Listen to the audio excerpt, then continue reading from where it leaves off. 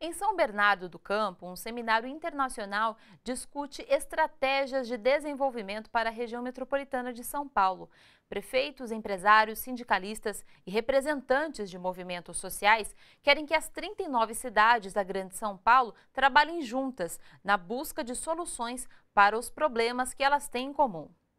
A Grande São Paulo é a maior região metropolitana do país e o maior polo de riqueza nacional. São 39 municípios que, além da população de 20 milhões de habitantes, dividem também muitos problemas. Só que, ao contrário do que acontece em outras regiões, estes municípios não compartilham políticas integradas para enfrentarem juntos as dificuldades. Você tem mesmo problemas relacionados com o transporte, o problema do uso da água é, é fundamental.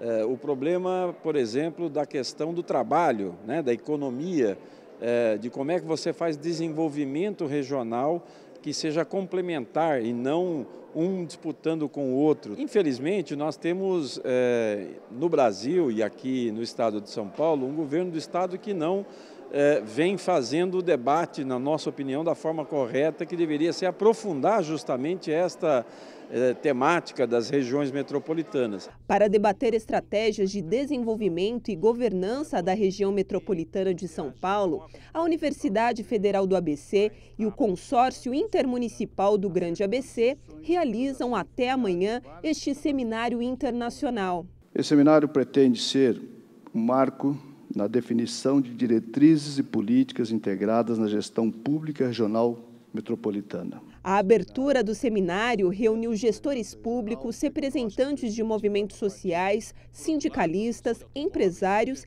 e acadêmicos, que debateram experiências nacionais e internacionais de regiões metropolitanas que têm políticas integradas. Por exemplo, o Consórcio Intermunicipal do Grande ABC, criado em 1997. Formado por sete municípios, o consórcio foi citado como referência de governança regional. Mauá, nós tivemos uma tragédia em 2009 com as fortes chuvas, né? E nós hoje temos uma estrutura muito bem organizada de pluviômetros, nós temos uma estação robotizada que prevê qualquer problema ambiental na, na cidade. Tudo isso foi graças à nossa discussão, nosso debate aqui de caráter regional. Nós temos que trazer a sociedade para esse debate, fazer com que eles entendam que eles fazem parte do problema e que eles têm que ajudar na solução.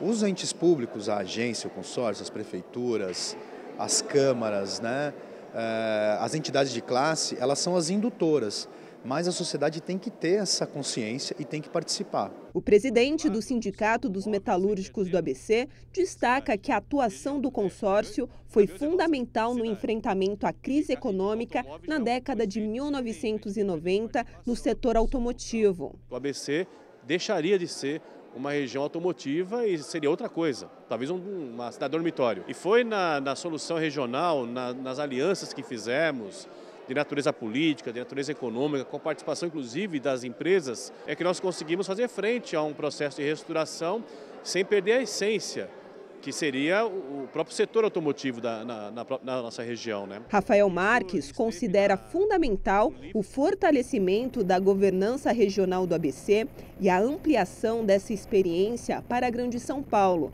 ainda mais nesse momento de crise política e econômica no país. Quando você analisa o fluxo de investimentos de, de áreas de fomento do governo do Estado, você percebe que o ABC não é área prioritária. A região metropolitana não é área prioritária. Então, eu acho que o arranjo regional, ele tem sim o, o, o caráter de é, pressionar e ganhar autonomia,